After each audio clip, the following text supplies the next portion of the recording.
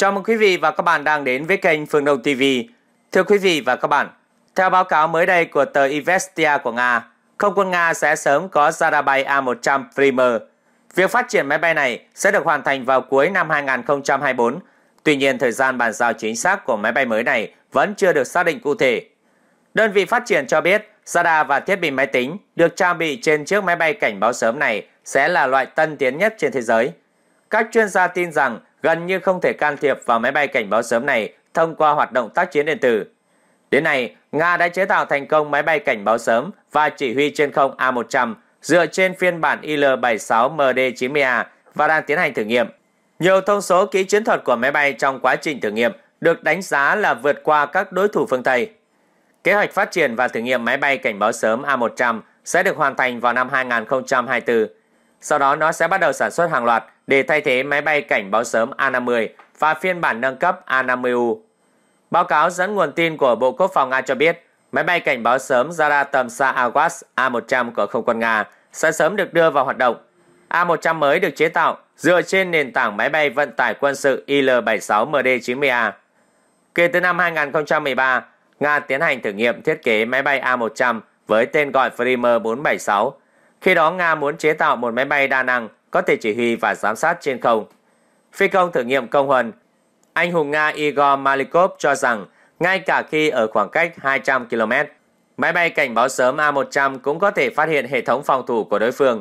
Vị chuyên gia này cho biết rằng máy bay có thể phát hiện tất cả các loại mục tiêu mặt đất và trên không. Đây là điều rất cần thiết cho hoạt động chỉ huy chiến đấu. Nếu không thể nhìn thấy đối phương, rất khó để chỉ huy các máy bay chiến đấu của chúng tôi. Tôi đã tham gia thử nghiệm máy bay cảnh báo sớm A50.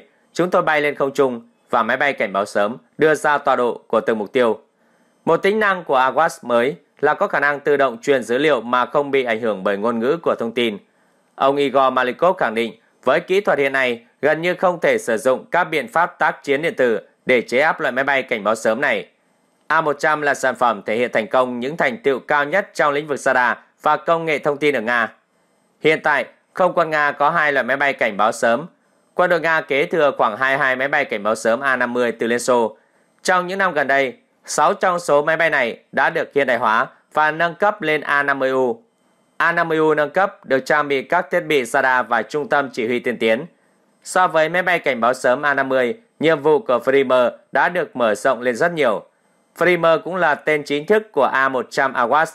Giới quân sự mệnh danh cho máy bay này là hệ thống hàng không đa năng cho giám sát và dẫn đường radar. Đại diện phía quân đội, với sự trợ giúp của radar trên không, máy bay cảnh báo sớm Primer có thể phát hiện tất cả các mục tiêu trên không và trên mặt đất. Sau đó thì nó truyền số liệu đến tàu chiến và máy bay chiến đấu để sử dụng vũ khí dẫn đường có độ chính xác cao nhằm tiêu diệt mục tiêu. Tổng giám đốc tổ hợp thiết kế điện tử vô tuyến Nga Vyacheslav Mikhaev đã cho biết sự khác biệt của A100 so với dòng Awas trước đó là hệ thống giám sát điện tử được thiết kế đặc biệt và độc đáo. Khi phát hiện ra các dấu hiệu nghi vấn, hệ thống có thể nhanh chóng tập trung nguồn phát để mở rộng phạm vi giám sát ở một hướng nhất định. Khả năng hoạt động của A100 ưu thế thậm chí là vượt xa so với các dòng AWACS hiện đang có của Mỹ và phương Tây. A100 với radar mảng pha có khả năng phát hiện máy bay địch bay ở tầm xa hơn 600 km tại bất kỳ độ cao nào, sau đó chuyển số liệu tự động về trung tâm chỉ huy, đồng thời hướng dẫn chỉ huy các máy bay chiến đấu và tên lửa phòng không trong các nhiệm vụ chiến đấu. Theo một số đánh giá sơ bộ, A100 có thể phát hiện các chiến hạm ở khoảng cách xa tới 400 km, tên lửa hành trình ở khoảng cách gần 300 km. A100 có thể trinh sát, phát hiện, theo dõi ít nhất là trên 300 mục tiêu, sau đó đồng thời chỉ huy tác chiến tới 10 máy bay chiến đấu ở các khoảng cách khác nhau. Vào tháng 2 năm 2019, máy bay A100 đã có chuyến bay thử đầu tiên thuộc giai đoạn thử nghiệm bay sơ bộ. Đây là giai đoạn quan trọng để dòng Awas mới của Nga có đủ tiêu chuẩn để bắt đầu giai đoạn thử nghiệm cấp quốc gia và đưa vào trang bị chính thức. Trong một thông tin khác, Mỹ muốn sản xuất vũ khí của người Nga. Lục quân Mỹ muốn đạt sản xuất một số loại vũ khí do Liên Xô thiết kế có thể được sử dụng bởi các đồng minh Mỹ vốn đang sử dụng các vũ khí tương tự. Đó là các loại đạn dược và vũ khí của các quốc gia do Liên Xô cũ hoặc các nước thuộc khối Đông Âu sản xuất và sử dụng theo một thông báo hợp đồng mới. Những vật phẩm này không thể được mua thông qua hệ thống cung cấp của lục quân Mỹ. Thông báo này lưu ý, mục tiêu cuối cùng là một hợp đồng 5 năm dự kiến từ năm 2022 đến năm 2026 để sản xuất đạn dược sẽ được giao tại Mỹ và các địa điểm ở nước ngoài. Danh sách mong muốn của lục quân Mỹ có rất nhiều loại vũ khí. Nó bao gồm các tên lửa chống tăng có điều khiển do Liên Xô thiết kế, rocket phóng từ mặt đất và trên không, đạn pháo và súng cối từ 60 ly đến đạn pháo hạng nặng 152 ly, đạn pháo xe tăng 125 ly, đạn 23 ly và 30 ly, tên lửa chống tăng RPG và đạn cho súng trường AK-47, AK-74. Liên Xô đã trở thành lịch sử 30 năm trước. Tuy nhiên, theo bài trên Forbes, có lẽ di sản lâu đời nhất của đế chế Xô Viết là số lượng vũ khí khổng lồ mà họ cung cấp cho các nước Đông Âu, chính phủ các nước thế giới thứ ba. Ngoài ra còn có nhiều quốc gia như Trung Quốc, Bulgaria sản xuất và xuất khẩu vũ khí do Liên Xô thiết kế. Súng trường, pháo và xe tăng do Đông Âu sản xuất đã xuất hiện ở tuyến đầu của các cuộc xung đột như trong cuộc nội chiến tại Syria. Nhưng có được đạn dược do Liên Xô thiết kế có thể không dễ dàng như vậy. Bài thuyết trình của lục quân Mỹ lưu ý các thách thức, bao gồm các nguồn cung cấp hạn chế và sự miễn cưỡng của một số quốc gia châu Âu cho phép các loại đạn này đi qua lãnh thổ của họ. Thật thú vị. Một trở ngại khác là một số nhà cung cấp có thể quá khó tin về mặt chính trị đối với Washington để có thể ký kết hợp đồng. Nhà cung cấp trước đây được chấp nhận có thể không còn được phép. Lục quân Mỹ đã cảnh báo, lực lượng này cũng sẽ trực tiếp kiểm tra đạn dược để đảm bảo chúng đáp ứng được các thông số kỹ thuật. Ý tưởng sử dụng vũ khí nước ngoài là hoàn toàn mới. Các cơ quan tình báo và lực lượng đặc biệt trên thế giới từ lâu đã sử dụng vũ khí nước ngoài trong các hoạt động bí mật. Năm 2017, Bộ Tư lệnh đặc nhiệm Mỹ đã tìm kiếm các nhà sản xuất Mỹ có thể chế tạo súng máy hạng nặng và hạng nhẹ từ thời Liên Xô cung cấp cho các đồng minh của Mỹ. Các nhà sản xuất quốc phòng Nga đã lên án các kế hoạch này là trộm cắp. Tại sao Mỹ muốn mua vũ khí từ Liên Xô cho các đồng minh của mình thay vì bán cho họ vũ khí của Mỹ? Câu trả lời là sự tiền lợi, đơn giản. Nhiều chính phủ và các nhóm mà Mỹ hỗ trợ, đặc biệt là ở Trung Đông và châu Phi, đã sử dụng vũ khí Liên Xô trong vòng nhiều năm.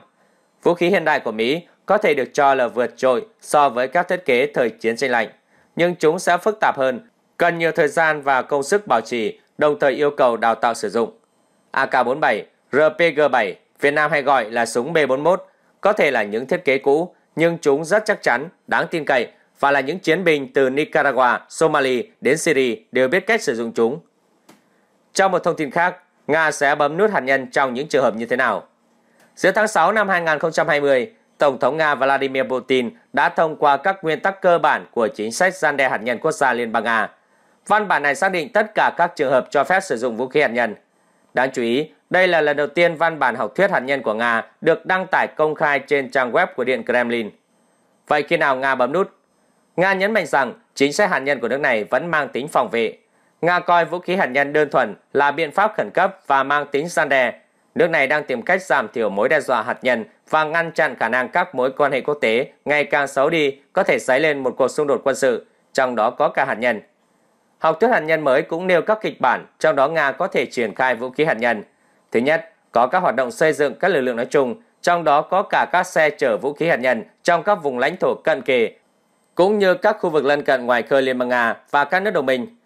Thứ hai, có sự triển khai các cơ sở và hệ thống phòng thủ tên lửa đạn đạo, các tên lửa đạn đạo, tên lửa hành trình tầm ngắn và tầm trung, các vũ khí siêu thành, vũ khí phi hạt nhân chính xác, các UAV tấn công từ các nước coi Nga là đối thủ tiềm tàng. Thứ ba, có việc thành lập và triển khai trên không gian các hệ thống tấn công vào các cơ sở phòng thủ tên lửa đạn đạo. Thứ tư, các nước sở hữu vũ khí hạt nhân và các loại vũ khí hủy diệt hàng loạt khác có thể được sử dụng nhằm chống lại Liên bang Nga và các đồng minh. Thứ năm, có sự gia tăng không kiểm soát các vũ khí hạt nhân, các phương pháp triển khai, công nghệ và thiết bị trong việc sản xuất các loại vũ khí như thế này. Thứ sáu, có hoạt động triển khai vũ khí hạt nhân và các xe vận chuyển vũ khí hạt nhân ở các quốc gia phi hạt nhân. Nga cũng đặt ra các tình huống bổ sung mà nước này sẵn sàng áp dụng các biện pháp cực đoan. Trong số đó bao gồm cả kịch bản là nhận được các thông tin đáng tin cậy về việc triển khai tên lửa đạn đạo tấn công lãnh thổ Nga và các đồng minh, cũng như kẻ thù triển khai vũ khí hạt nhân hoặc các vũ khí hủy diệt hàng loạt nhằm vào Nga và các đồng minh. Ngoài ra, lệnh triển khai vũ khí hạt nhân sẽ được đưa ra khi có một cuộc tấn công của kẻ thù nhằm vào các cơ sở quân sự của Liên bang Nga. Trong đó các cơ sở này bị phá hủy có thể gây gián đoạn phản ứng hạt nhân của Nga hoặc các hành động gây hấn bằng vũ khí thông thường nhưng đe dọa sự tồn tại của nước Nga. Vậy các chuyên gia quân sự đã nói như thế nào? Văn bản mới được cho là sự tổng hợp những tuyên bố trước đây của Tổng thống Putin cũng như các nhà lãnh đạo quân đội Nga. Viktor Murakovsky, tổng biên tập tạp chí Kho Vũ khí Đất Mẹ, đã nói với tờ Russia Bizon rằng việc Nga công khai chính sách hạt nhân là một nỗ lực thuyết phục các đối tác tham gia vào hiệp ước cắt giảm vũ khí chiến lược START 3 đang sắp hết hạn. Nếu không được gia hạn, Nga và Mỹ có thể mở rộng kho hạt nhân mà không bị hạn chế. Hiện tại, cả Nga và Mỹ đều hạn chế kho hạt nhân ở mức 1.550 đầu đạn hạt nhân và 700 tên lửa đạn đạo liên lục địa, tên lửa đạn đạo phóng từ tàu ngầm và bom hạng nặng. Vậy Nga hiện nay đang có các tên lửa hạt nhân nào? Theo trang web vũ khí hạt nhân chiến lược của Nga, thì dưới đây là các tên lửa đang được biên chế trong quân đội Nga.